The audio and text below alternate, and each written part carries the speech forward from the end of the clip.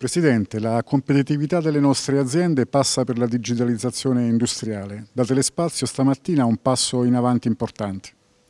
Passa per la digitalizzazione e in genere per l'innovazione tecnologica. Non si affronta il mondo eh, odierno senza costantemente aggiornarsi, innovare, costruire e creare novità e soprattutto realizzare eccellenze che facciano emergere i nostri prodotti in un mercato troppo ampio per poter competere nella logica dei numeri.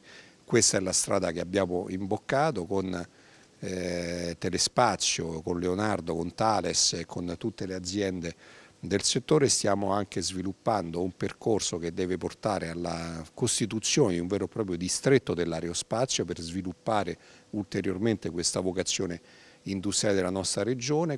Oggi molto significativo il fatto che in questo hub, in questo centro per l'innovazione digitale che coinvolge Abruzzo e Molise, siano presenti tutti i principali attori del territorio, dai centri di ricerca e dalle università fino alle associazioni di categoria, confindustriali, insieme alle istituzioni pubbliche e alle aziende del settore. Fare squadra, fare sistema è la ricetta giusta per far crescere un territorio.